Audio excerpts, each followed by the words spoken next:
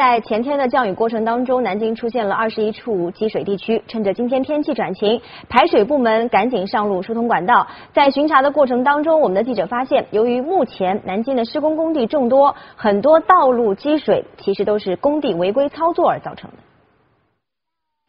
南京下关区唐山路是七月三号强降雨中出现积淹水情况比较严重的路段。今天一早，南京排水管理处的工作人员分组对这一路段的雨水井和主排水管道进行清理。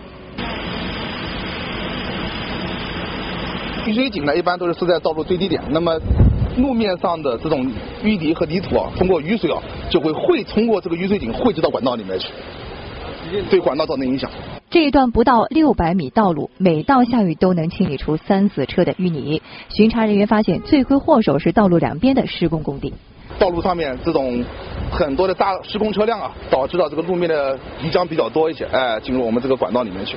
按照南京市容管理规定，工地内部地面必须进行硬化处理，工程车辆进出必须冲洗干净。而这个南京世贸滨江房地产开发有限公司的工地，并没有按照规定执行。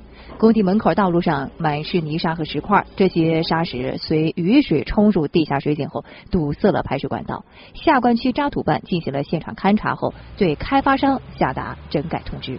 你跟施工方，嗯，呃，他那个怎么整改？来呃，你把这个整改到位。